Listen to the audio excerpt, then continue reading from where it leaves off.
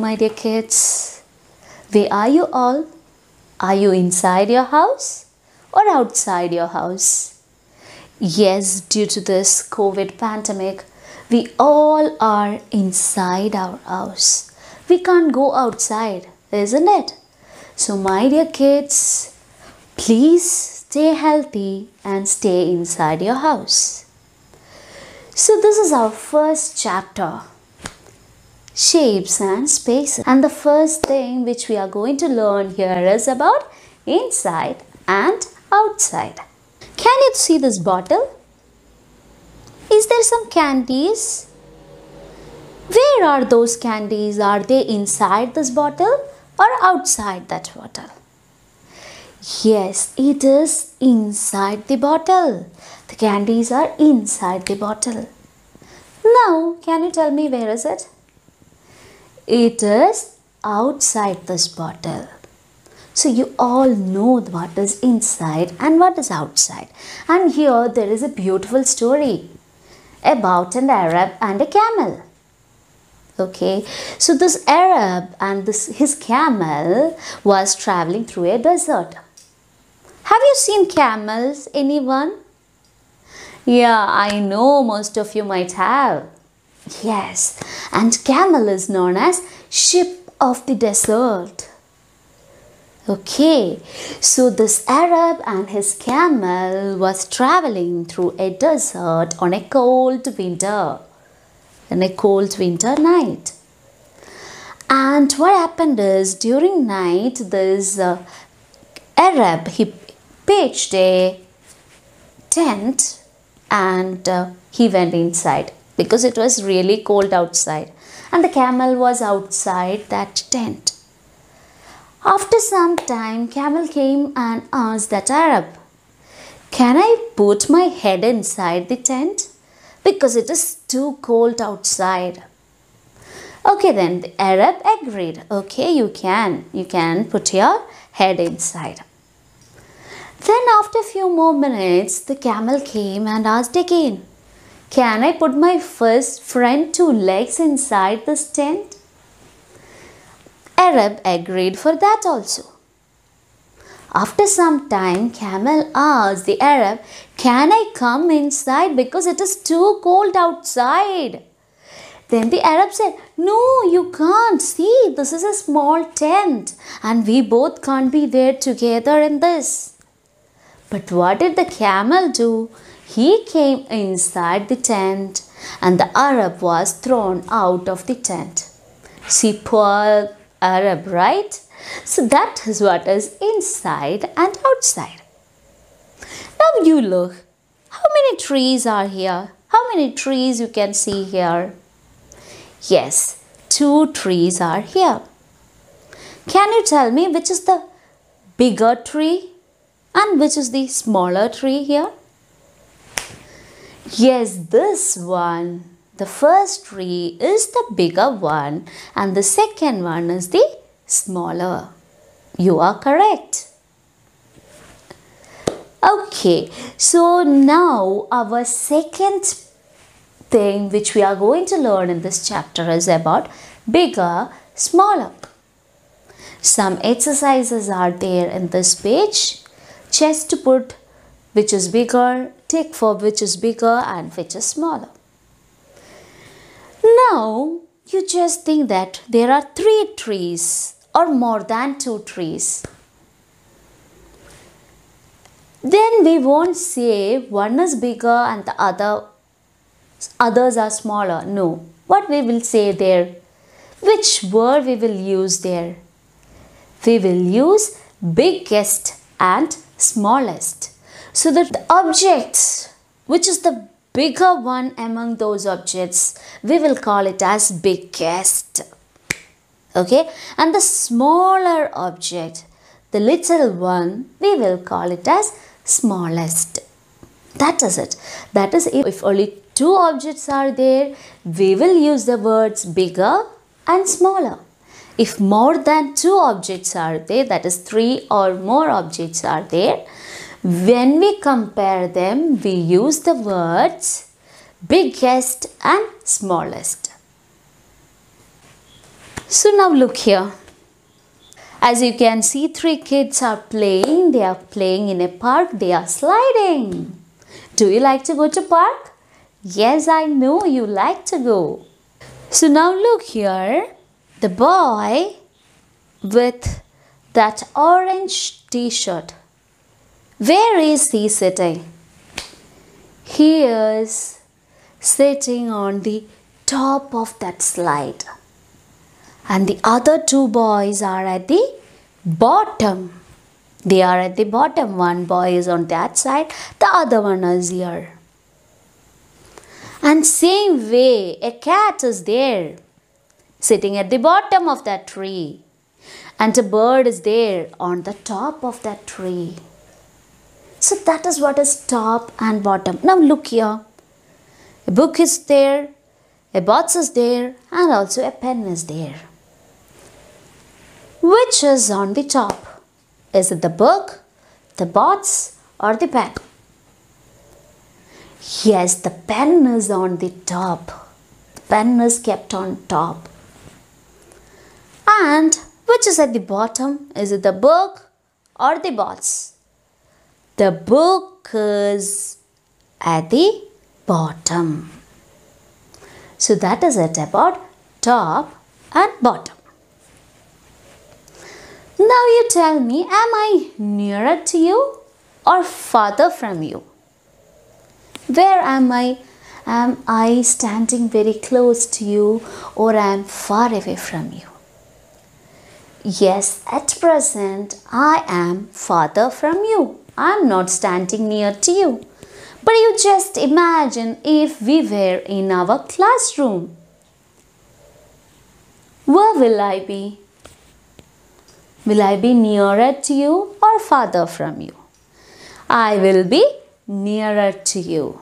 Isn't it? Yes, I will be close to you, not far away from you. So that is our next topic, nearer and farther. Here in this picture, which bird is nearer to this house? Is it that pink bird or the other one? Which is nearer to that house? Yes, it is that pink bird which is nearer to this house. That pink bird is very close to close to this house. And the other one is far away. It is not that close. Okay, now same as bigger, smaller, biggest, smallest. Next is nearest and farthest. If there are more than two, we will say that the one which is very close by is nearest to that and the one which is far away is farthest from that. As you can see in this picture, the question there is Take the puppy farthest from the tree. How many puppies are there? There are four puppies. And which puppy is farthest from the tree? The one which is far away from that tree. It is that last puppy, isn't it? Yes. And can you tell me which puppy is nearest to that tree? It is this first puppy which is nearest to the tree. Same way next question there is tick the tree nearest to the bird. You can see three trees there and also a bird. Our question is you want to take the tree which is nearest to that bird. That means which is very close to that bird. Which is that tree? It is the last tree. Okay, so if we have more than two things, we will say nearest and farthest. The one which is far away from that object, we will say it is farthest from that. The one which is very close to that, we will say it is nearest to that.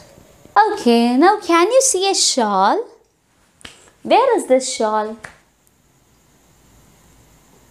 It is on my head, isn't it? Yes, the shawl is on my head. What, what about that fan? Is it on my head? No. Then what will we say?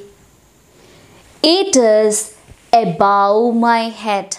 It is just above my head. It is not on my head. Not on my head. On my head means my head and the shawl are touching each other. Is that fan touching my head? No. It is just above my head. Now look here. Where is this cat now? This cat is on this table. Can you see a housefly here? Is it on the table or above the table? Yes, this housefly is above the table. It is not on the table. It is not sitting on the table. There is no touching, is not there between that table and housefly. It is just just above that. So that is on and above, which comes in our next page. On, under, above, below. So now under and below is also there. We just learned what is on and above. Next is under and below. Just look. Where is this cat? This cat is under this table. This cat is just under this table. Now, where is this cat? Can you say it is under this table or below this table? Yes, it is below this table. Same way you can see here there is a fan above the table. Then one boy is sitting on the table. A mouse is there under the table. A cat is there on the table. Many things are there like that in this picture. When we look around, we can see many objects, isn't it? Yes, you just just think of a playground you can see ball there. Or if you're playing snake and ladder or ludo one small box type thing is there. Do you know what is the name of that? Yes it is known as dice. That dice has another shape. Ball is in some other shape. What about the ice cream which you eat? That corn ice cream which you eat the shape is different. So when we look around, we can see different shapes around us. Some plane shapes are also there. Some solid shapes are also there. Examples of plane shapes or two-dimensional shapes are triangle. This is a triangle. Square, rectangle, and a circle. All these are some examples for a two-dimensional shapes or plane shapes. And as we said before, we can also see some solid objects or three-dimensional shapes. Some of those three-dimensional shapes are sphere, cube, cuboid, cylinder and a cone. Okay, so among these objects, these different shapes, some shapes can roll and some shapes can only slide. For example, you just look this ball. I'm just giving a push for it. See what is happening? It is rolling. You just take your pencil and keep it there on your table and give a push for that. What will happen? It starts rolling, isn't it? Yes. But you just keep this book, your notebook or your textbook on the table and give a small push for it. Is it rolling? Can it roll like this? No, it is only sliding on the floor. So some objects can roll and some objects can slide.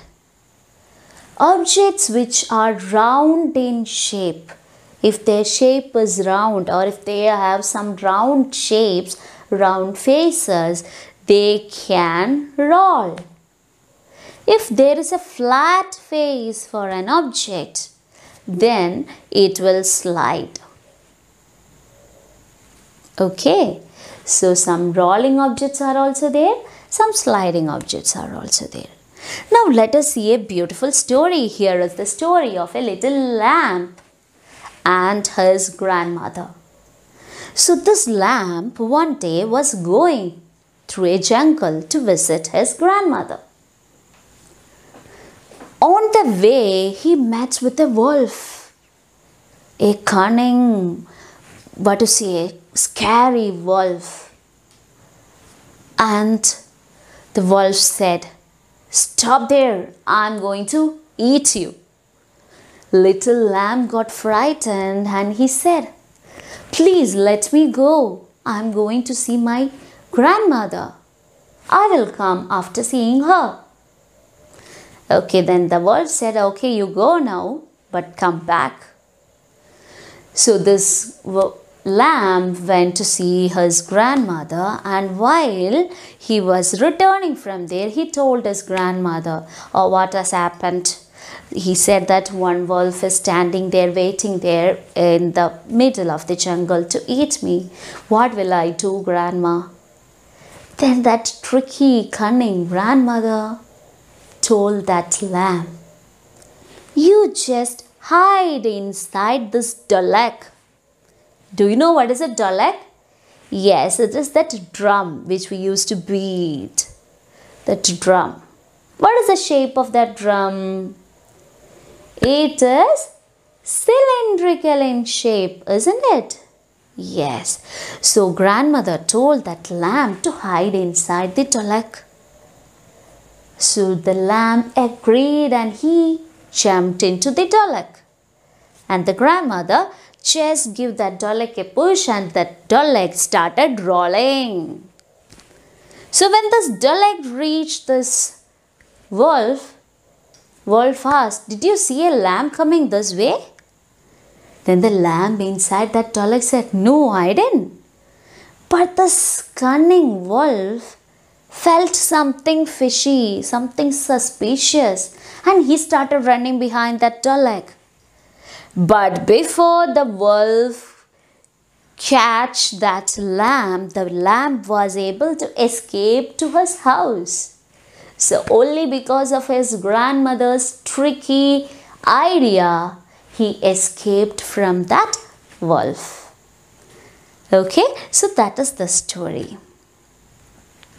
So, this is all about first chapter inside, outside, bigger, smaller, biggest, smallest, top, bottom, nearer, farther, nearest, farthest, on, above, below, under, and some shapes around us. So, thank you all.